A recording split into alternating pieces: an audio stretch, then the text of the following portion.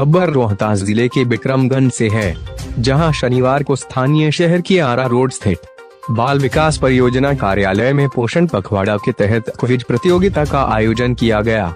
इस संबंध में जानकारी देते हुए बाल विकास परियोजना पदाधिकारी कुमारी कमला सिन्हा ने बताया कि हर वर्ष की तरह इस वर्ष भी 21 मार्च से 4 अप्रैल तक पोषण माह के रूप में मनाया जा रहा है। इस माह में 21 मार्च से 4 अप्रैल तक पूरे देश में राष्ट्रीय मिशन के तहत पोषण पखवाड़ा मनाया जा रहा है। पोषण पखवाड़ा के तहत लाभार्थियों को पोषण के प्रति जागरूक करने के लिए कार्यालय में क्विज प्रतियोगिता का आयोजन किया गया। इस क्विज प्रतियोगिता में लाभार्थियों के रूप में किशोरी, गर्भवती व धात्री महिलाओं ने भाग लिया जिसे टीम ए और टीम बी के रूप में बांटा गया। सभी टीमों के लिए कुल पोषण से संबंधित दस सवाल निर्धारित किए गए थे।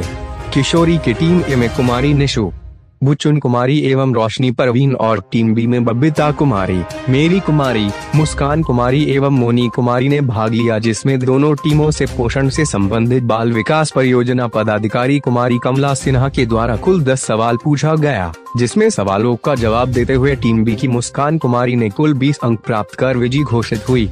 निर्णायक के रूप में के इंडिया के प्रखंड प्रबंधक कुश कुमार उपस्थित थे? गर्भवती की टीम में प्रमिला देवी, गुड़िया देवी, नीतू कुमारी, रीना देवी, उमरावती देवी और टीम बी में निकी कुमारी, चांदनी कुमारी, संगीता कुमारी, सिंकू कुमारी मेहरून निशा ने भाग लिया, जिसमें सवालों का जवाब देते हुए टीम ए की नीतू कुमारी ने भी अंक प्राप्त कर विजय घोषित हुई।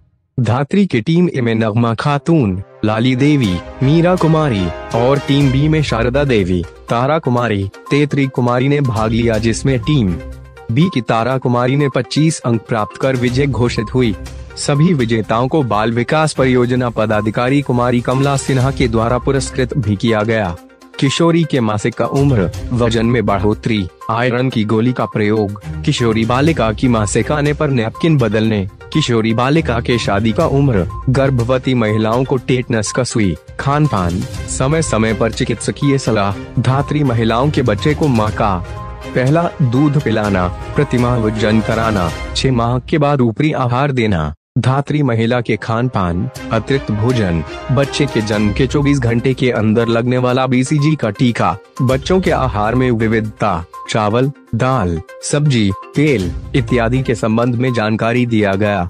मौके पर सुपरवाइजर कुसुम कुमारी, निर्मला कुमारी, प्रखंड समन्वयक रिंकी कुमारी, प्रखंड परियोजना सहायक सह प्रभारी प्रधान लिपिक सुमन प्रभात इंडिया के प्रखंड प्रबंधक कुश कुमार, प्रखंड अध्यक्ष गंगोत्री देवी, सेवक देवी, गीता देवी एक, गीता देवी दो, संगीता सिंह, ज्योति कुमारी, नीलोफर, आशा कुमारी, मानती देवी, शकुंतला देवी, लालती देवी, लीलावती देवी, सुधा देवी मनी देवी, कुसुम देवी, अलावे अन्य सेविकाएँ मौजूद थी।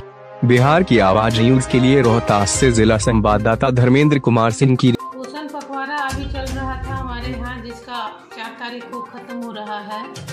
तो उसमें जो किए गए कार्यक्रम हम लोग जाके पोषण क्षेत्र में किए। तो हम लोग यही थोड़ा सा जानने का के लिए इच्छुक थे कि हम लोग जो कार्यक्रम आंगनवाड़ी के माध्यम से करा रहे हैं, वो कितना हद तक मतलब सफल हो रहा है।